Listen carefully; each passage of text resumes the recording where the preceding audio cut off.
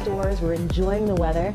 Um, however, in addition to sun, we're also exposed to pollution and pollutants, which can negatively impact our skin.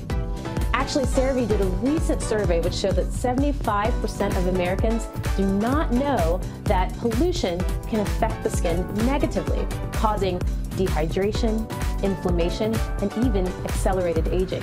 Whether you're hiking or gardening or lying by the pool, you're being impacted by the harsh elements. Even during our daily commute, we're being exposed to the toxins. So whether you're going to the office or going to the beach, it's important to protect your skin at all times. Let's say you take the subway or the train to work. When you're standing on that platform, you're exposed to potential emissions. Let's say you're walking just a few blocks, but if you're in a smoggy city, you're being exposed to those toxins. And if you're driving and the UV is coming in through your windshield, you're still being exposed. So one easy, straightforward way to do that is to adopt a really simple skincare regimen, which should include at least three things.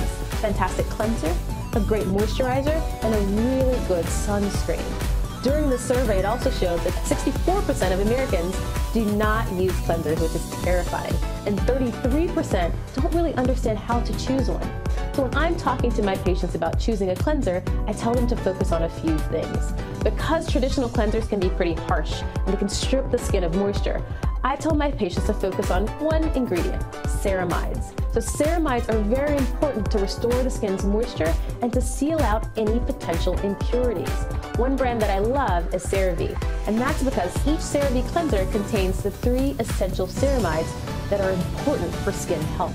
In addition to cleaning the skin effectively to remove the pollutants, you also want to make sure that you're using a really good sunscreen to prevent against UV damage. Sunscreen is important during the winter, but it's especially important during the summer when we have more exposure. And making sure that you're also staying orally hydrated, treating our skin from the outside and